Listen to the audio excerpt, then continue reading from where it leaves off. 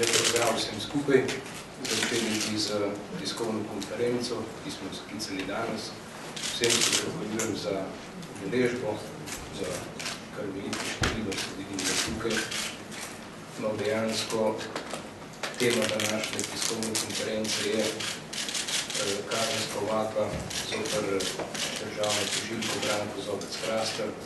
sicer zaradi utemeljenega suma, da je storila kaznivo dejanje zlorabo uradnega položaja uradnih pravic po prvem stavku 257 člena kazenskega zakonika, ki ga pa je izvršila s tem, seveda, da je to naredila listino, torej obtožni predlog, za katerega je zapisala lažno vsebino. No, da bi najprej zavrnite. Najprej imate romano gor, boste lahko spremljali sproti, kar vam bom povedal. Začel bi vseeno malo z nekim pregledom nekih zadev in potem se osredotočil seveda na samo vsebino vadbe.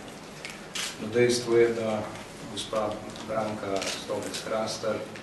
je višja državna tožilka, zaposlena je pri Vrhovnem državnem tožilstvu Republike Slovenije, to vam je večini znano. Državna tožilka je od leta 90, torej gre za izkušnjo tožilko, svojo funkcijo upravlja že pred 20 let. No, leta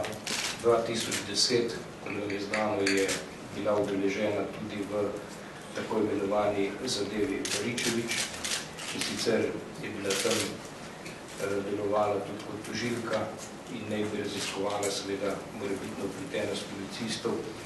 ali kaznivo dejanje, ki ne bi vršila policija v tem primeru. No, gospa Branka Zobec Hrastar je seveda po nekem času, po poteku nekaj časa, še ugotovila, da obstojajo izločitveni razlogi, zato ker je imela osebno poznanstvo sestro pokojnega Baričeviča in takrat se je tudi izločila. V tem postopku seveda ni upravila nikakor nobenega ukrepa in pozneje pa je, pa je seveda, ko je bila tožilka zamenjena,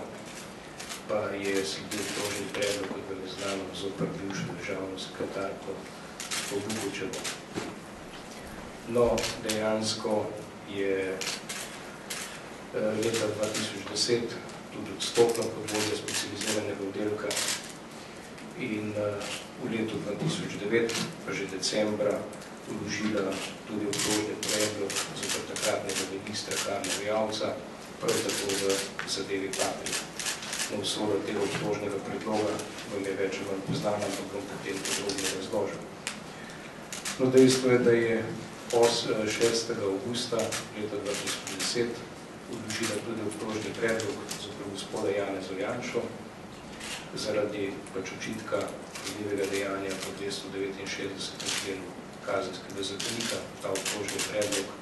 ste večina že prebrali, ker je bil objavljen tudi na internetu. No, dogajalo se je pa še to, da je pred cirka tednom dni doživela tudi oprostilno sodbo v zadevi pregona pač kriminalista in prometnega policista in sicer zaradi tega, ker so pri to ugotovitvi sodišča dokazi v tem postopku nezakonito zbrani oziroma pridobljeni zato je bila posledica oprostilna sodba. Ni za zanemari dejstvo, da je bil v tej zadevi tudi odrejen pripor.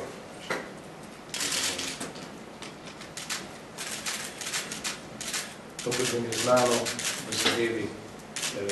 gospoda Karla Vjavca je Branka Zobec Hrastar vložila obtožni predlog, v katerem je očitala, da je storil kaznivo dejanje nevestnega dela v službi, za katerega je seveda predpisana kazen do enega leta zapora in denarna kazen. Zanimivo dejstvo v tej zadevi je predvsem to, da je tožilka v obtožnem predlogu navedla, da je gospod Karel Rjavec v zadevi Patrija pač oškodoval proračun za 6,5 milijona evrov. No, in seveda, ker sodišče pri vlaganju tako imenovanih obtožnih predlogov, kot je tudi v tem primeru, ne preizkuša utemeljenosti suma in ne preizkuša dokazov, na katerih temelji ta obtožni predlog, se je začela glavna obravnava, v kateri je bilo na koncu ugotovljeno, da škode, ki je tožilka seveda učitelja, da je Rjavec povzročil, ni bilo in kot je zanimivo v razglasitvi sodbe sodnik podaril, da je učitelj v obtožnem predlogu zgledal tako, kot da nekomu očitaš, da je povzročil škodo, zato ker je cenejši avto. No, to je seveda zgolj za, za nekako uvod, da vidite absurdno situaciji, kako se končujejo zadeve, eh,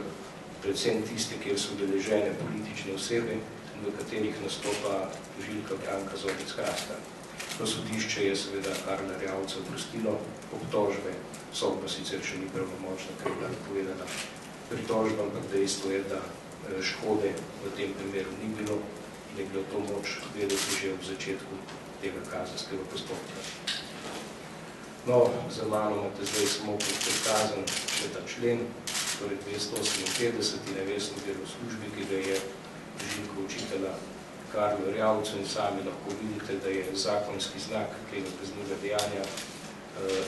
resničen nastane večje škode, ki pa v tem primeru ga ni bilo in je to znano, da ga se ga ne more biti. No,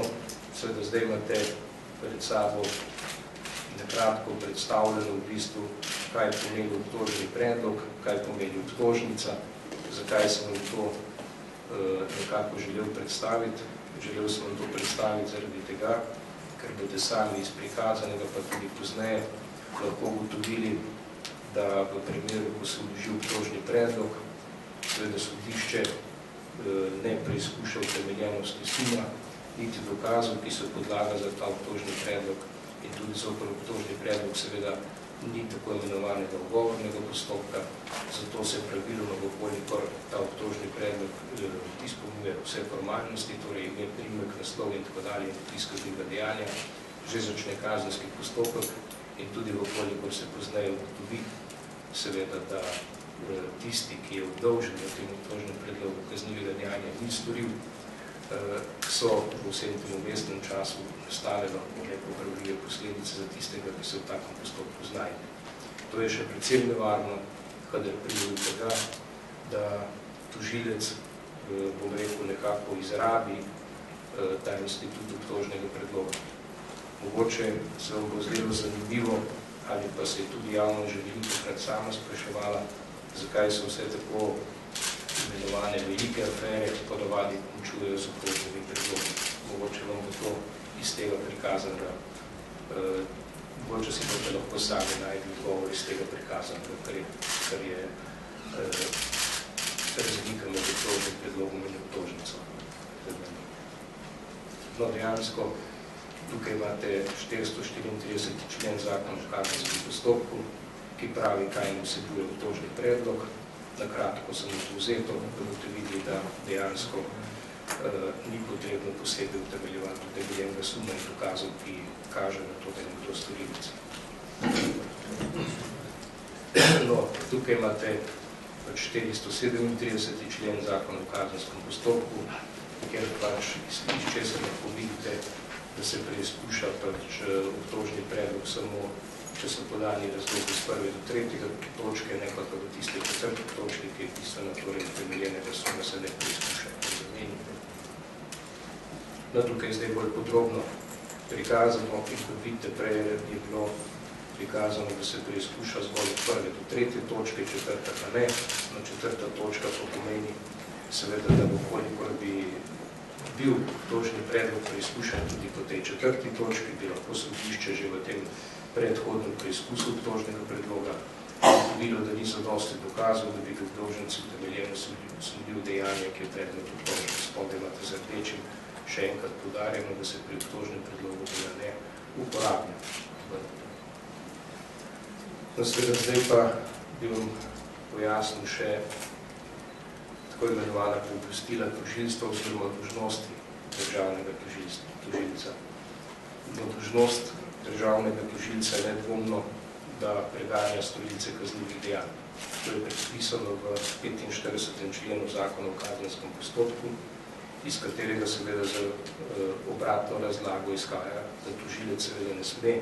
vlagati obtožnih predlogov in preganjati oseb, ki niso storilci kaznivih dejanj. Torej, to je temeljna dožnost tožilca, da preganja zgolj in samo storilce kaznivih dejanj, in tudi tiste, za katere meni, da je zadosti dokazal, da so res to dejanje vrnili. No, še ena bistvena določena zakon o kazenskem postopku je, ki se pa eh, seveda včasih tudi spregledam, tudi v tem primeru, da tako zato tožilki Branki Zlobec Hrasta učitelj zlorabo položaja, je pa 17. člen zakona o kazenskem postopku, ki pa nalaga seveda vsem tistim, torej sodiščem in državnim organom, ki sledujejo v kazenskem postopku, da morajo po resnici popolnoma ugotoviti dejstva, ki so pomembna za izdajo zakonite odložbe. Torej, po resnici in popolnoma.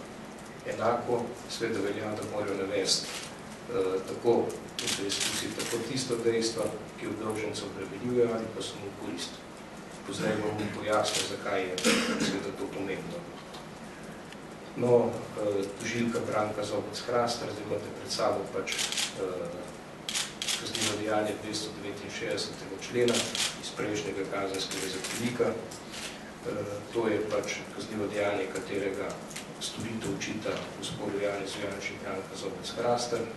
in gre seveda za kaznivo dejanje, vsi ste pač to brali,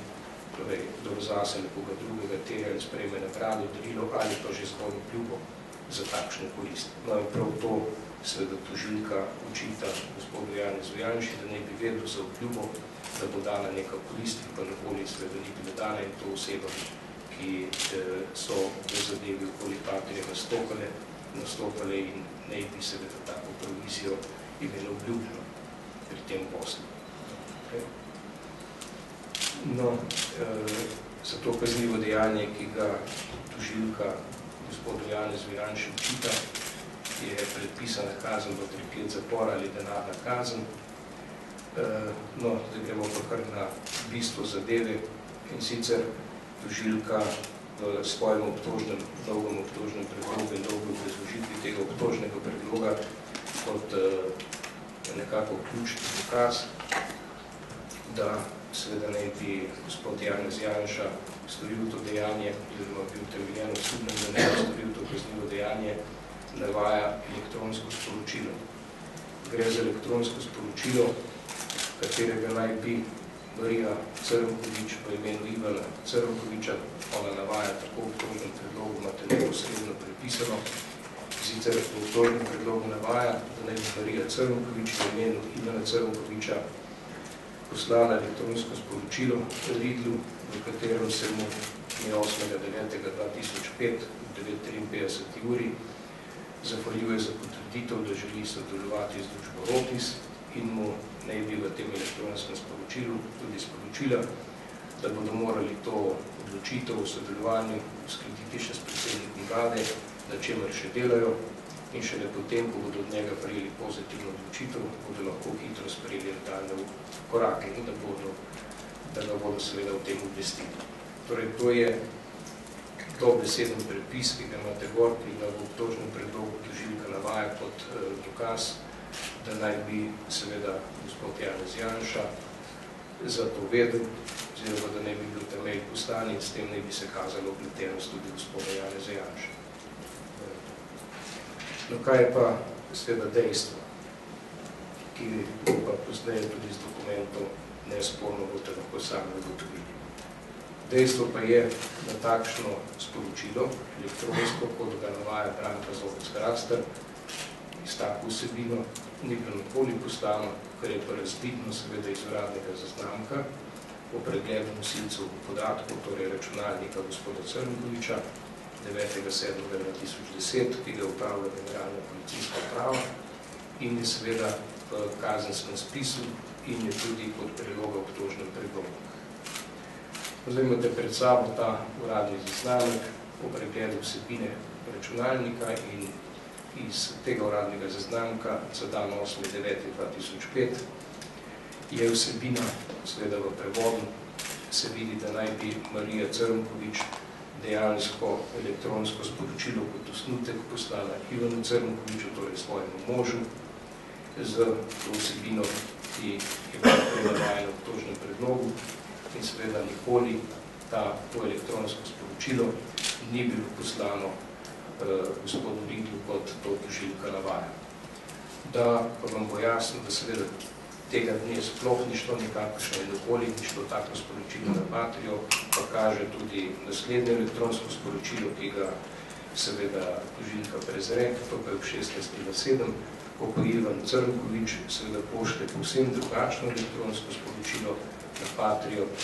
in uh, v tem sporočilu pa je govora samo o tem,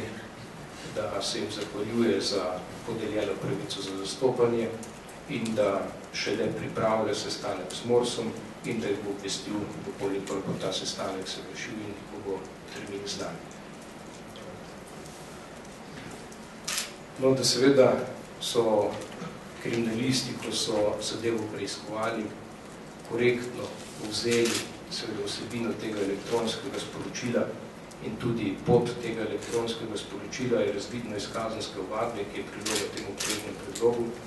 In sicer iz ovadbe je razvidno, da so kriminalisti korektno zapisali, da je Marija Crnkovič mail poslala svojemu možu Ivanu eh, in da tega maila ni poslala eh, Patri, kot to pozneje v obtožnem predlogu navaja tožilka Hrastareva. Eh, kot sem že povedal, Marija je pripravila osnutek maila, ki pa ni bil nakoli poslan in uh, seveda s tem, kot doživljka v obtožnem predlogu navaja, da je bil ta mail poslan Patri in da to dokazuje upletenost gospoda Jana Zajanša v to zadevo, seveda govori neresnico oziroma piše neresnico in si izmišlja dokaze. To pred sabo imate seveda zdaj obtožni predlog, ki ga dožila doživljka Branka Hrastar, no in spodaj imate tudi povzetek kako ona povzema seveda ta dokaz, kar je nepravilno in seveda gre za eh, enostavno ponerejanje listin, zato ker obtožni predlog opisuje vsebino in zatrjuje dejstva, ki dejansko ni in jih ni bilo in je seveda zato tudi vedela, peti priloga je tako uradno zazname, kot tudi kazanska ovadba, kjer so dejstva posebno drugačna. No, ona pa zatrjuje, tukaj imate predpis, eh, da je Marija Crnkovič, ta mail 8.9.953 seveda poslala, Ridlu se njemu zahvaljuje za potrditev, da želi sodelovati z Rotis in da seveda dela na tem, da to uskladijo še s predsednikom vlade. Torej, dejansko je povzeta povsem drugačna vsebina, kot je bila v kazenski ovadbi in v uradnem zaznamku, ki je sestavila policija. No, zdaj imate pred sabo še osnutek maila, ki dejansko nikoli ni bil poslan, torej ta sporni mail. Uh, iz njega samega vidite, da je prijatelj Marija Crnovič, da je namenjen Ivanu Crnoviču in da seveda ni možno, da bi se zgodila gospe Branki Zdovec Hrasta kakršna koli pomota pri navajanju teh dokazov ali da bi se da bi enostavno to dejstvo, čeprav je tako pomembno spregledala, boste videli na vrhu, imate obkroženo z rdečem, da je že na tem mailu vidno, da je osnutek, kajti v pripisu je jasno napisano, ne vem, če sem prav napisala ime, torej niti ni vedela, če je pravilno napisala ime in je bil to nek osnutek maila, ki nikoli ni bil poslan in iz njega se tudi jasno vidi, da gre za sam osnutek. No, še enkrat imate pred sabo osnutek tega maila, iz katerega obkroženo, da ne ve, če prav napisala ime, in obtožni predlog eh, tužilke Branke Zobec Kraster, po katerem zatrjuje, da je bil ta mail poslan in da iz tega seveda tudi vleča zaključke, da so celotno zadevo usklevali z gospodom Janezom Janšem, takratnim predsednikom vlade. No, zdaj imate pa pred sabo še tisti drugi mail, ki sem že prej vam povedal v izoradnega zaznamka, da je bil poslan 16.7. In iz tega drugega maila, ki pa ga je dejansko gospod Crnovič poslal, sicer ni prevoda, pa lahko uh, sami ugotovite in tudi povzeto je bilo prej uradnem zaznamku, da pa seveda nikakršne take vsebine ni, kot jo tužilka Branka Zopec Krastar navaja, ampak da gre zgolj za to, da se zahvaljuje, za, da je bil pač izbran in da seveda usklajuje sestanek z ministrstvom za obrambo. Torej, da povzamem ključni in edini dokaz v, tej, v tem obtožnem predlogu, kajti uh, ostalih takih dokazov uh, ni in jih tudi ne more biti, ker je gospod Janez Janša v to zadevo nikoli vmešan, pa je torej izmišljen in prirejen za potrebe tega postopka in s tem, ko je doživka svojega polaženo sredino zapisano v obtožni predlog, je tudi zlorabila svoj položaj, ponaredila listino, ponaredila v tem smislu, da je obtožni predlog zapisano čisto listnico. Da ponovno ponovim, da ne gre za naključje in da v naključja ne verjamem, pa je dejstvo, da je gospa Branka Zovec Hrastar izkušena tožilka, zelo dobro pozna tako določbe, kot sem prej povedal, 17. in 45. člena zakona o kazenskem postopku, ki določa seveda, da mora po pravici navesti vsa dejstva in seveda dejstvo je, da je po naši oceni to storila naklepoma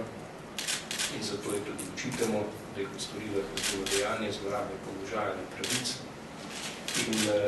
seveda smo kazensko vadbo 13.6. tudi posredovali na